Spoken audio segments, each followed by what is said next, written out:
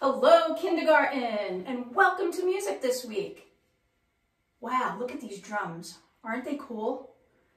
These are awesome drums from a place in the world called Cuba. Okay, so Cuba is a country that's kind of closer to Florida than here. And in Cuba, these drums were used widely all over to play Cuban music.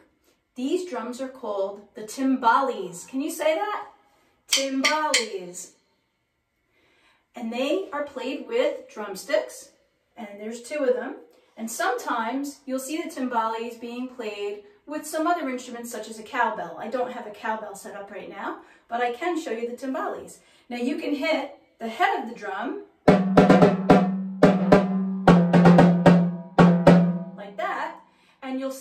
one of the drums is smaller than the other one, and the smaller one makes the higher sound, that's right.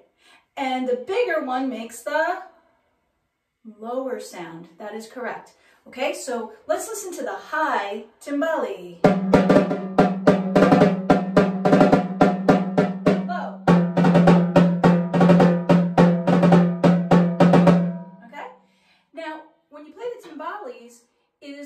Also acceptable to hit the side or the rim.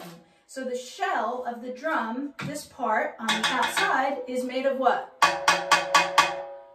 If you said metal, you are correct. That is made of metal. So you can hit the metal part like this.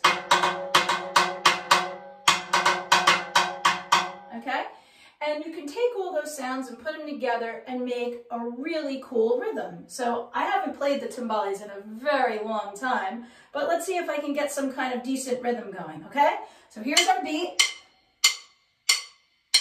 And here's our rhythm.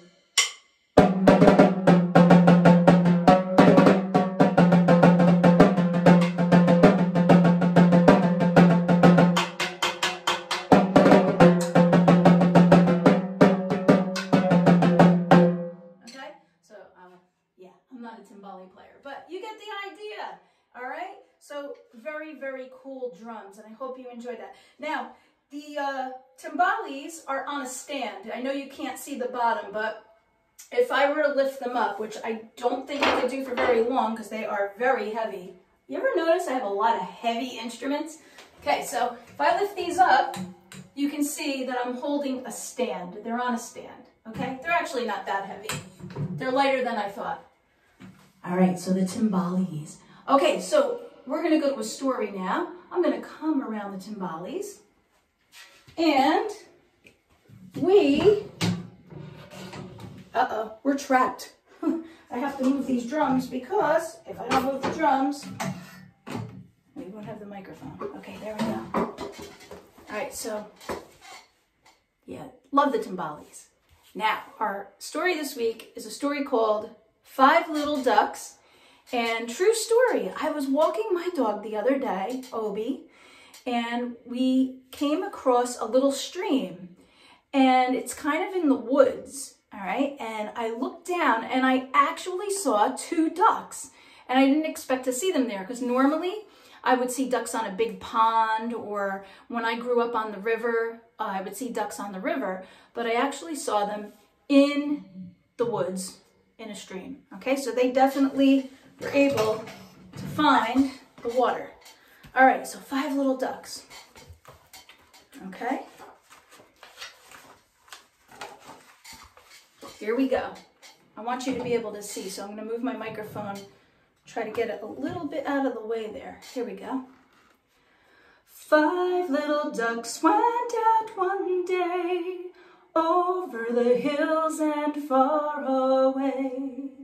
Mother duck said, quack, quack, quack, quack.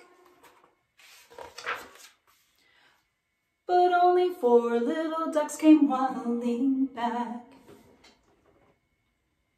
So she started out with five, and only four came back. I wonder where that one went. Hmm. Let's find out. Four little ducks went out one day over the hills and far away. Mother duck said, quack, quack, quack, quack.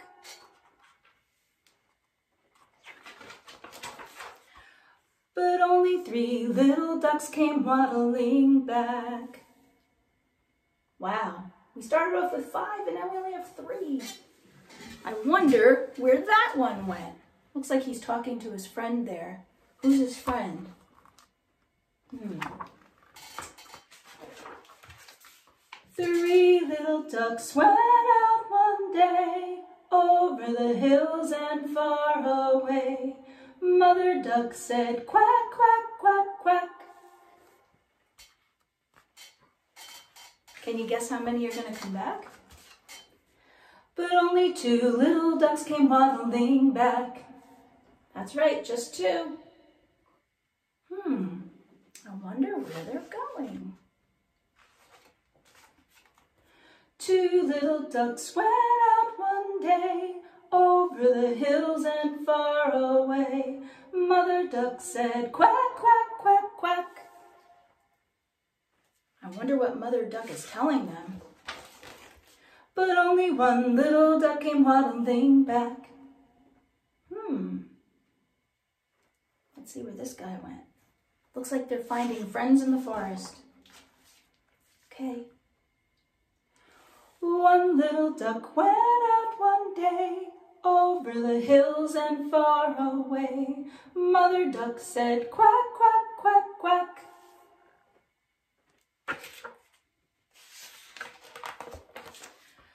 But no little ducks came waddling back.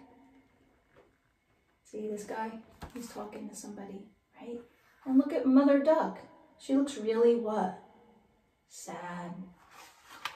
Aw, let's see what happens. Sad Mother Duck went out one day over the hills and far away. Mother Duck cried, quack, quack, quack, quack.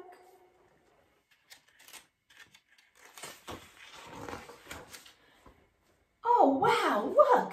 And all five little ducks came waddling back. They were on an adventure. They got to meet some different friends. Can you name three of the friends they met along the way? Oh wait, before you do that, look, there's the song. So they met some friends, right? Like the first little duck, he met, let's see, who did he meet? He met that guy, right? Maybe that's a beaver, right? Because he has a flat tail and he's sitting on a log. And beavers like to build dams that keep the water from passing through, right? So he met that guy. Can you think of another person or animal that they met? That's right, the cow. They met the cow, okay? There was one interesting one in here that I saw. Let's see.